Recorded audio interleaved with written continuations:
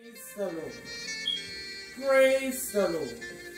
This is Evangelist Brenda Thompson coming to you today. Today I greet you in no other name than in the mighty name of our Lord and Savior Jesus Christ and soon coming King. The title of my message today is From the Guttermost to the Uppermost. My message is taken from Luke chapter 15 verse 11 to 24 and my reference is Romans chapter 5 verse 17 to 20 and Romans chapter 8 verse 1 and 2. And he said, A certain man had two sons. And the younger of them said to his father, Father, give me the portion of goods that falleth to me. And he divided unto them his living. And not many days after the younger son gathered all together, and took his journey into a far country, and there wasted his substance with riotous living. And when he had spent all, there arose a mighty famine in that land, and he began to be in want. And he went and joined himself to a citizen of that country. And he sent him into his field to feed swine. And he would fain have filled his belly with a husk that a swine did eat. And no man gave unto him. And when he came to himself, he said, How many hired servants of my father's have bread enough and to spare, and I perish with hunger? I will arise and go to my father, and will say unto him, Father, I have sinned against heaven before thee, and am no worthy to be called thy son. Make me as one of thy hired servants. And he arose and came to his father. But when he was yet a great way off, his father saw him, and had compassion, and ran and fell on his neck, and kissed him. And the son said unto him, Father, I have sinned against heaven, and in thy sight, and am no more worthy to be called thy son. But the father said to his servants, Bring forth the best robe and put it on him, and put a ring on his hand and shoes on his feet. And bring hither the fatted calf and kill it, and let us eat and be merry. For this my son was dead and is alive again. He was lost and is found, and they began to be merry. Please turn with me to Romans chapter 5. Verse 17 to 20. For if by one man's offense death reigned by one, much more they which receive abundance of grace and of the gift of righteousness shall reign in life by one Jesus Christ. Therefore, as by the offense of one's judgment came upon all men to condemnation, even so by the righteousness of one, the free gift came upon all men unto justification of life. For by, as by one man's disobedience many were made sinners, so by the obedience of one shall many be made righteous. Moreover, the law entered that the offense might abound. But where sin abounded, grace did much more abound. There is therefore now no condemnation to those who are in Christ Jesus, who walk not after the flesh but after the Spirit.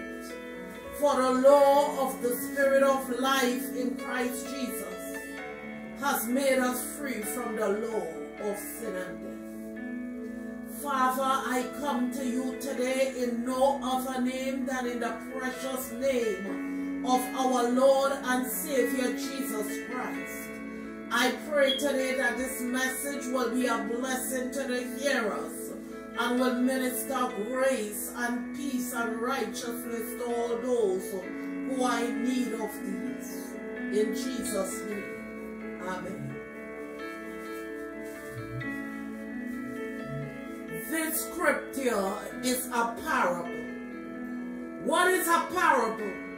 A parable is a simple story used to illustrate a moral or spiritual lesson. According to Deuteronomy chapter 21 and verse 17, the older of two sons was entitled to twice times their father's estate. In this lesson, the younger son received a third which I believe he was supposed to use to bring honor to his father. But in verse 13, this lesson tells us not many days after he had gotten all his inheritance, his life's wealth, that he was so immature that he took a dangerous turn in life. He went into a far country and he wasted or misused all his lifetime inheritance to wasteful living. And because of his inexperience and negligence, he ended up in trouble. Please turn with me to verse 40.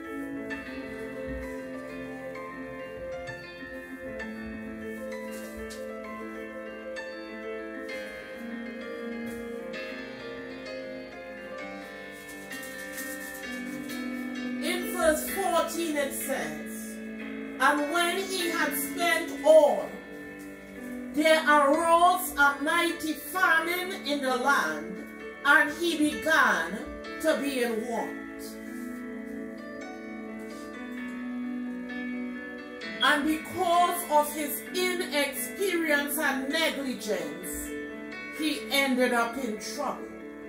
Verse 14 says, And when he had spent all his money, there arose a great recession in the strange land, and he was now broke, unemployed, and poverty stricken. The Bible Proverbs chapter 30 and verse 17, The eye that mocketh at his father and despiseth to obey his mother. The ravens of the valley shall pick it out, and the young eagles shall eat it. Do you know where you are going to? Do you the things that life is showing you? Where are you going to? Do you know? in verse 50, because this so-called young man was not a citizen of whatever far country he had joined himself to, in order to get through the next phase in his life, he had to join himself to a citizen of that far country. And he was given the job that was unexpected. His occupation was now in the guttermost, feeding swine. When we leave our place of security and prosperity, the wrong people will influence us because of innocence and bring us to a place of defeat and shame. Stay in your safety zone. Please look with me at verse 60. And he would fain. The word fain means gladly. Have filled his belly with a husk that the swine did eat, and no man gave unto him. What a disaster from eating at a table with the setting of a king and then coming to swine's food. In verse 16, it tells us that he ate the husk that the swine did eat, and no man gave him food. But John chapter 14 says, In my father's house there are many mansions.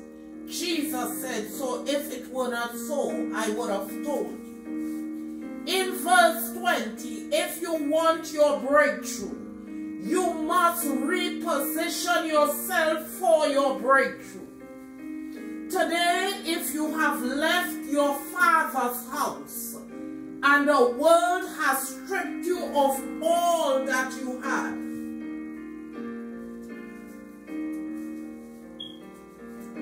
Praise the Lord. God is saying to you to return. Please look with me at verse 20. And he arose and came to his father. But when he was yet a great way off, his father saw him and had compassion, and ran and fell on his neck, and kissed him. Even when you arise and are still at a distance, your heavenly Father will recognize you and have mercy on you. And he will run towards you and kiss you. He will have compassion on you. In verse 21, this son, prodigal son, prays a prayer of repentance and the son said unto him, Father, I have sinned against heaven and in thy sight, and am no more worthy to be called thy son. Praise the Praise the name of Jesus. There is room at the cross for you. Verse 22 speaks about change and honor, change of heart, change of mind, change of clothing, and a ring on the hand symbolizes Jesus being married to the backslider. Verse 23 represents access to the Father, the throne, the forgiveness of sin.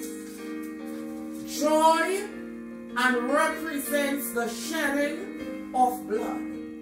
The Bible says without the shedding of blood, there is no remission of sin. And the Bible said that the only way we have access into the throne room is by the shedding of blood.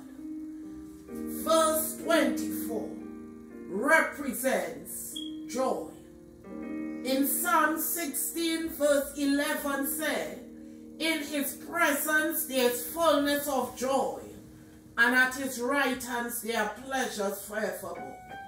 If you are experiencing the Guttermost, there is an extended invitation for you today. Come and experience the uppermost. Jesus wants to bring you into a revolutionary extravaganza. It's called the uppermost.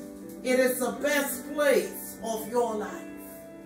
Today, my conclusion, I would like to pray the blood of Jesus pray for your deliverance from a place of vulnerability, a place of defeat, a place of shamefulness, a place of loss, a place of poverty, to a place of restoration today.